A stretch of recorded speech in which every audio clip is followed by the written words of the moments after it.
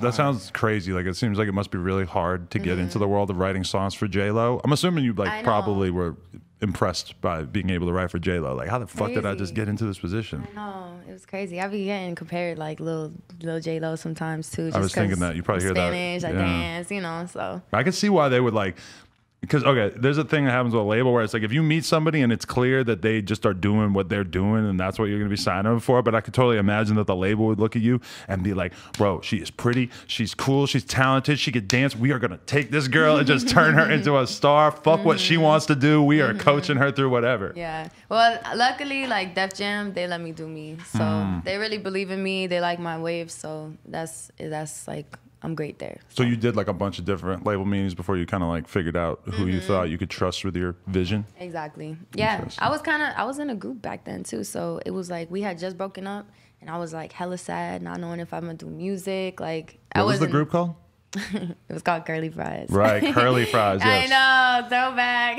Were, were you a big Curly Fries supporter at the time? oh man. Yeah, I'm her big brother. You know, I gotta support everything she does as long as she ain't doing no crazy shit. You know what I'm yeah, saying? I mean, we were young. We were like a TLC type of vibe. Like we were real commercial and like fun. And, Wow, like, that is fun. You know, we both danced, and it was like that. Kind Do you have any particular uh, affection for curly fries? You have the Jack in Box, Jack in the Box. They got pretty good curly fries. Nah, man, I did not come up with that name, so don't even clown me, Oh, okay? okay. I was just wondering where it I came hated from. that name so much. I'm like, ah. Why'd the group break up though? man, groups break up, right? Oh, okay. Drama, like she, she just, she just went on. She still do music too, so. Okay. You know. You were young, but did you think your career was over? at that time, I was real. I was real shy and like not really like. When I had was in a group, it was kind of like she could like ha- have her moments and then I have my moments. So I felt like more comfortable. So when it was by myself, I was like, oh shit. I was like, Ugh, let's. I don't know what to do. So I was definitely down, and then I ended up doing like this Bryson Tiller like comp- compilation Right. from his first album and that like i dropped it on youtube. I changed my whole hair. I changed my whole like instagram like everything like after i got out the group.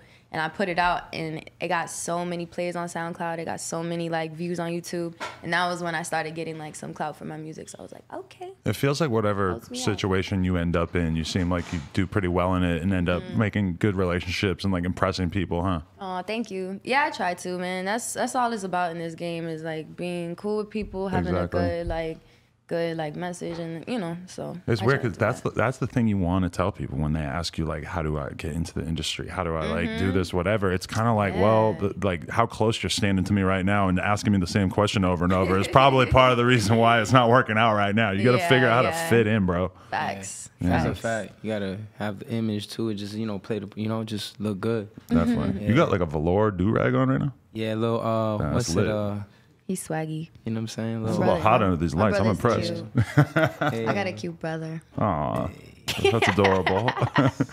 um, okay, but I I have to cover this before we get into like your most recent project, which I spent today in, in LA traffic driving around listening to. But can we talk about when you got the Prince cosign and exactly how that happened? Because that's kind of astounding. I didn't expect to find out about that today. Aw, yeah, no, that was crazy. I was in a, I was obviously out here, and I had just been dancing like with different artists like that. So I was 18, and he found me somewhere. He never told me what it was, but he found me online somewhere. I got an email one day from his two dancers saying Prince wants me to commit, uh, submit a choreography video to his song. I sent him the video of me dancing to his song, and like he replied and was like, "I want you to write a treatment. I got a whole budget for you. Like make this video happen." So. Right. Breakfast Can Wait out there on YouTube. You can check it out. But That's crazy. Yeah. But and and you, he was just he was just like your friend. Was it pretty? He like, was pretty much cool my friend level? after that. Yeah, like he he flew my whole family out to Paisley Park on a private jet. Like on a private jet. Yeah, it was my what the first fuck? I time. got to meet Prince a couple times. Yeah. Even for Prince, a private jet is expensive as hell. yeah. I know. That's crazy. Shit. Great performer. Yeah, he's know, crazy. He super would perform till he was like till like five in the morning. It was wild. Right. Yeah. Yeah. How did you feel when he passed? I was hella sad. Like I was just like, damn, I wanted to do so much, and I wanted him to be a part of it, you know, because.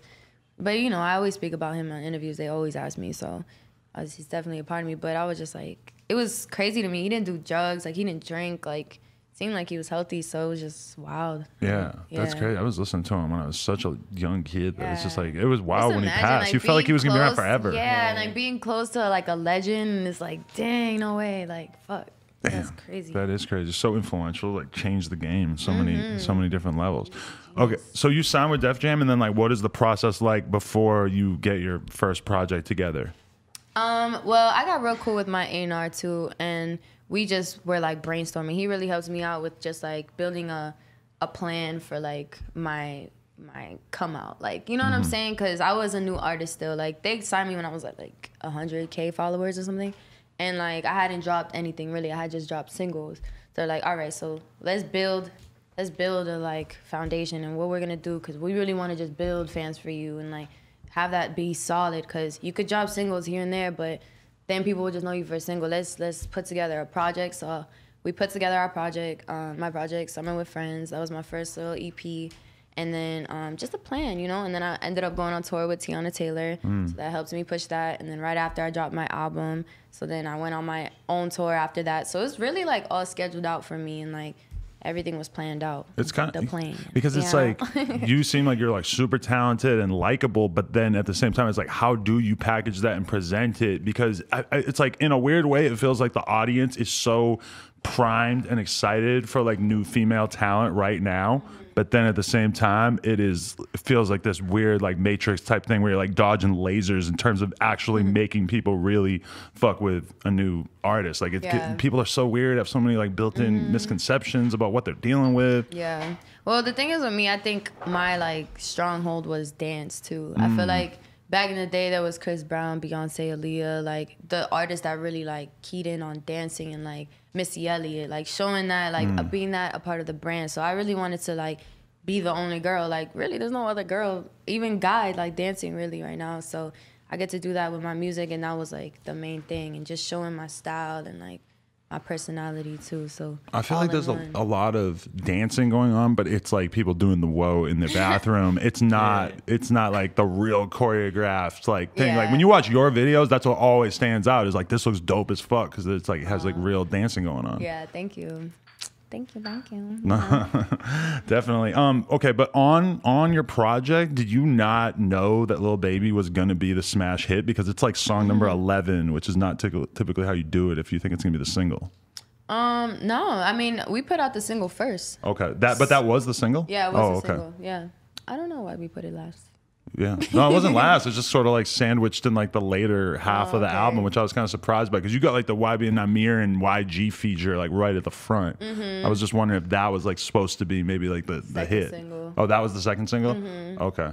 Is that always kind of like a weird thing from your perspective where it's like obviously you fuck with rap and stuff, but you're not quite a rapper and you have to like make the decision about putting rappers on certain Yeah. songs and like that's going to bring in some audience? I think for me, it's kind of like I just kind of let the audience like pick. Mm. So for me, my mindset was just like we gonna see what people really fuck with organically, like, and just let people choose really. So that's honestly how it happened. Like, I I figured Can't Relate would do really good. You know, I thought maybe I thought Easy was gonna do fire. You know what I mean? That's like an R and B record. So I have a lot of different type of vibes. So imagine it could have been Easy that went crazy, and that's a R and B records, or it could have been Can't Relate. That's a rap record. So it was just like let's see what happens. And the most played played uh, second song was Can't Relate on the album. So yeah, and now I got Chris Brown on Easy remix. About to job, I'm about to shoot the video. I got rehearsal tomorrow, and the next day we uh, shooting the video. So who knows? That could just take it up crazy too. You know? That So, is crazy. Yo, but that little baby song is like ridiculously huge. Like it's so there's something about when you hear it, it just feels very familiar. Like it just it just works. But you you just wrote that by yourself? Like uh, no, I wrote that with Jazzy and Vori. Okay. Jazzy and Vori. Yup, we was in the studio. Islam produced it. He showed me the the the beat, and I was like, damn, this is crazy. I was like, how old are you?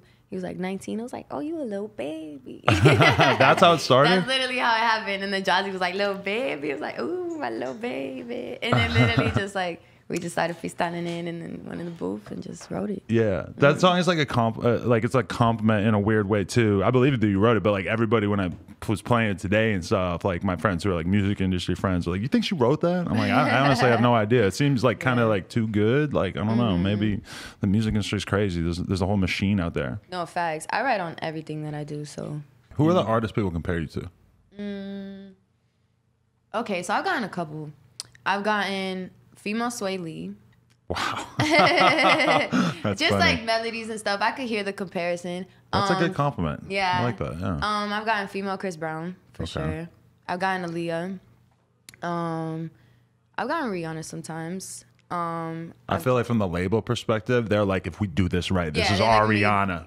Ariana Grande. No, our Rihanna. Oh, like our like Rihanna, that they yeah. could kind of they see her potential and they're like, dude, she she could be that. I see it too. I'm like, if I were at the label, I'd be like, I get it. I I, I see the vision. Yeah. No facts. That's that's the goal. She's one of my like biggest inspirations. She's just a boss woman. I like her music is so dope, but then also just like the the Her the vibe. image, the vibe, Yeah, everything about it is crazy star, fuck. like, yeah. yeah. That's how I feel about myself. no, no, I see it too for sure. Yeah. so yeah, um, shoot, who else have I been compared to? I, I've gotten, I've gotten, I've gotten Travis Scott vibes before. I ain't gonna front. I like that you just so casually just throw all these like male rap performers in there. You're not gonna be limited to like, oh, I gotta be like girls. Oh yeah, no, no. I like that because I think my music, guys could listen to it and females, so it's like both. Mm. I love making music for everybody, like you know. Definitely. Mm-hmm. Um, are there any like rappers that you've been listening to in particular that you could see yourself working well together uh, that you haven't worked with yet? I want to work with Roddy Ricch. Mm. We already exchanged like email. I mean, not emails, numbers and stuff. Mm-hmm.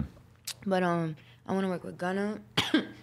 Damn. Shotty Roddy Ricch. Uh, he was in the studio. We was in the studio the day in Miami too. Dude, he's super Yeah, fire. he's fire. yeah, he's Stupid. crazy. You can tell he focused and shit. You know what I'm saying?